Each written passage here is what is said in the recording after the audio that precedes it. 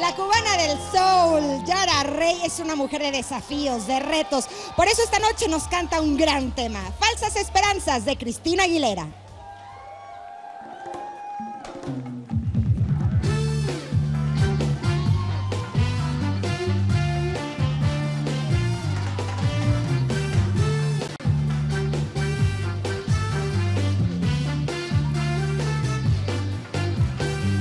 No me digas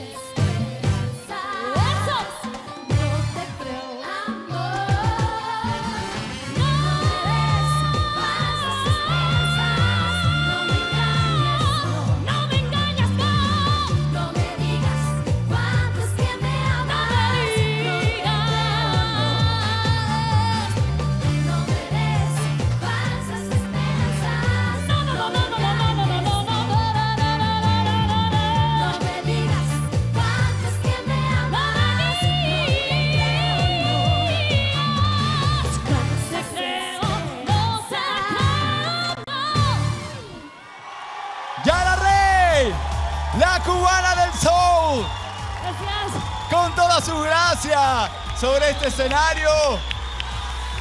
Qué bonito momento. Marta, ¿qué te pareció el desenvolvimiento de Yara aquí arriba? Yo quiero hacer una pregunta y es, ¿quién demonios ha dicho que para cantar hay que estar delgada? Nadie. Es obvio que tú has eh, demostrado que es así, que no hay que estar siempre delgada para ser un artista. Y la verdad es que me ha gustado muchísimo más que cuando hiciste lo de Lady Gaga, porque este es tu rollo.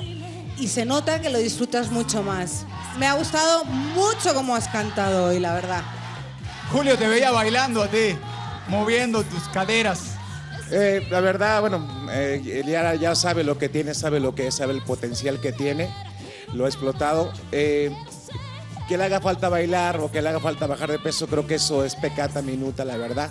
A mí yo lo que veo en el escenario es una persona que transmite mucho, que tiene toda la capacidad de convencer al público de aquí y al que esté en casa. Felicidades, Yara. Increíble. Jair, ¿ves a Yara rumbo a la final? Yo la veo hermosa. A mí me encanta cómo está. Me encanta, me encanta. Yara, tienes una energía increíble, una sonrisota, una alegría maravillosa, una gran voz también. Ea, vuelta, vuelta. Vuelta, vuelta, vuelta, vuelta, mami. Ea, ea, ea. ¡Azúcar! Dios, me encanta. Yara, hay que, hay que eh, no sé si era por cuestión de monitoreo, checar algunas notitas por ahí que creo que son importantes, sobre todo en las partes agudas. Eh, pero me encanta todo lo demás, me fascina, de verdad. Creo que eres una gran, gran artista. Vamos con las calificaciones. Julio, nueve puntos. Marta, 10 puntos de Marta. Para Yara, el primer 10 de Marta esta noche, ¿verdad? Creo que el segundo en toda la academia.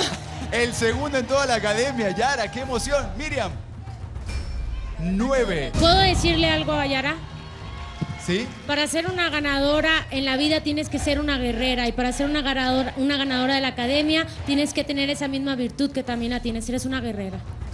Y que lo diga la primera ganadora de la academia, bueno, no es poca cosa. Cruz, 8 puntos. Cruz bajo hoy. No, yo creo que 8 es un buen punto, ¿no? La verdad, yo he escuchado a Yara eh, cantar otras canciones, este, pero yo creo que es uno de las pocos también que ha recibido un 10, ¿no? Este, la verdad, la canción es muy rítmica, pero sentí que no te divertiste suficiente, ¿no? Este, una de las mejores cantantes femeninas de toda la historia es Aretha Franklin, que la verdad sigue llenando conciertos y sigue vendiendo muchos discos. Así que no te preocupes por eso, porque la voz es lo, lo principal y eso lo tienes y tú lo sabes. Tenemos el voto oculto de Yair también.